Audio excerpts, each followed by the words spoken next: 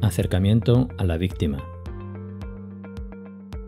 Cuando nos acerquemos a la víctima nos presentaremos diciendo, somos los bomberos, por favor mantenga la mirada hacia mi mano, procure no mover la cabeza de la posición que tiene ahora.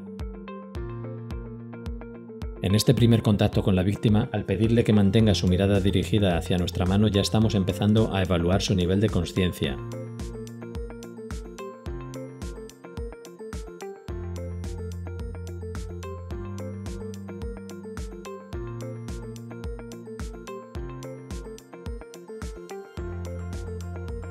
Al realizar el control cervical manual ya podremos valorar si respira o no. En caso de que no respirara después de haber hecho una apertura de la vía aérea adecuada y de que tuviéramos posibilidad de sacar a la víctima porque no se encuentra atrapada y la puerta se puede abrir, deberíamos realizar una técnica de extracción rápida como es la maniobra de Rautek.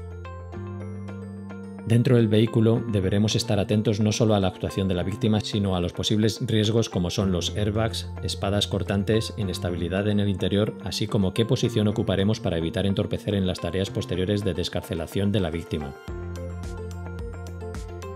Una vez tenemos un control cervical adecuado, administraremos oxígeno según las indicaciones del médico que esté presente.